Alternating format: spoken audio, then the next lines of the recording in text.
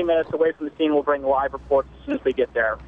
Mark, thank you for that. We do want to pass on uh, some new information we're just receiving here into the newsroom about that second suspect that law enforcement officials are now looking for. He is described as a black male between 18 and 20 years old. He was wearing a red shirt, a Falcons baseball cap.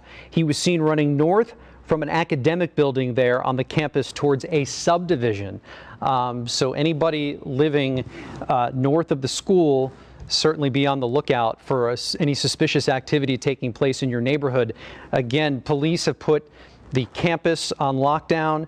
They are now going to be searching the building. We saw officers gear up in some tactical gear uh, not too long ago, and a perimeter uh, has been set up north of the campus as well as this investigation uh, just now beginning.